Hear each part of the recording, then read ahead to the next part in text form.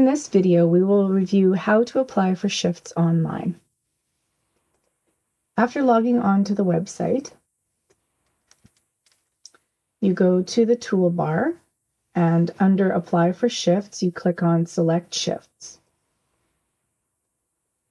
From the calendar view, you can see where shifts are available because they will be noted as a day or an evening on the day that they're available. Clicking on the day will jump directly to the available shift. If the shift is pink, that means there are no submissions. Once there is a submission, it will turn green. If overtime might be available for the shift, there will be a yellow star in this location to show that there is overtime approval for the shift. On the far right is a button that will tell you first how many people have applied for the shift, and on the other side of the slash, how many shifts are available. In this case, there are no submissions and there is one shift available.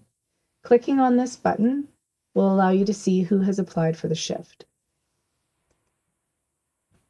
If you are interested in applying for the shift, you can click on the Apply button and it will drop down below.